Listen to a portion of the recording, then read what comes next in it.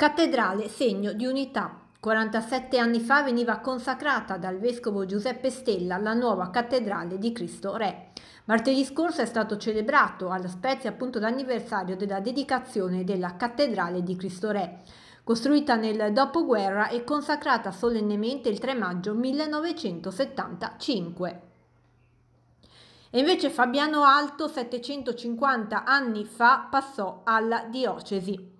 La parrocchia che fa parte del comune della Spezia ricorderà nei prossimi giorni questa importante ricorrenza della sua storia ecclesiastica, appunto i 750 anni del passaggio dalle pertinenze del monastero religioso dell'isola del Tino alla diocesi di Luni.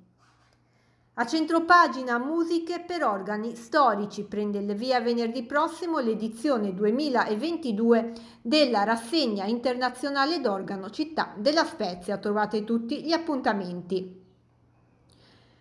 Il Papa Sarzanese Niccolò V e la Biblioteca Vaticana, così i libri greci mutarono la storia dell'Occidente.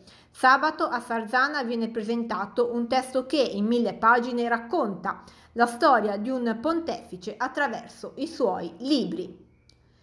E infine la locanda è pronta, la locanda del Samaritano, la nuova struttura della Caritas per l'ospitalità notturna delle persone senza fissa dimora è stata completata con la ristrutturazione della sede di via 15 giugno a Pegazzano e sarà inaugurata martedì prossimo alle 16.30 con la benedizione impartita dal vescovo diocesano Luigi Ernesto Palletti. Queste le principali notizie che potrete leggere domani sull'inserto spezzino del quotidiano cattolico Avvenire.